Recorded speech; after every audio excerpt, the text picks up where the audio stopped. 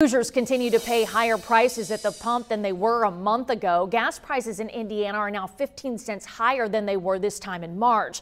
However, in the past week, the average cost has fallen nearly 4 cents per gallon, and this is all according to Gas Buddy.